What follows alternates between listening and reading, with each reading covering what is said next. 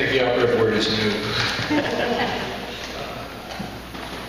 I'm new to, to the state, statewide politics. I, I've been a selectman, I've been a planning board member, I've been a member of the, uh, building committee in town.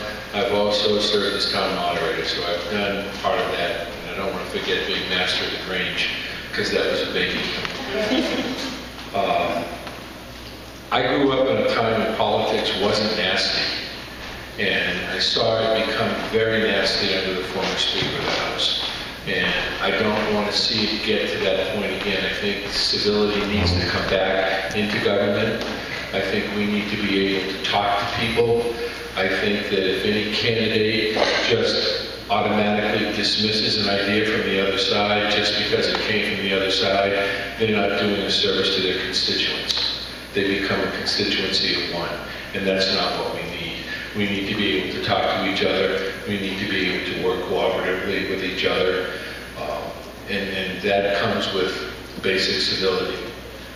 So that's, that's my platform. I'm a retired educator. Uh, I've been a principal, I've been a classroom teacher. I've also been in law enforcement for the past 30 years.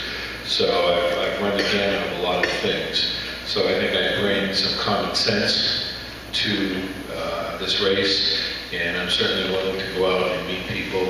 I've been meeting some folks in, in all of my towns. Uh, Orange, oh, it's not that large. Orange touches Groton, Groton touches Rumney, Rumney touches Ellsworth, and Ellsworth touches Thornton. So we're getting some signs out, we're getting our name out there, so that's where we are. Thank you.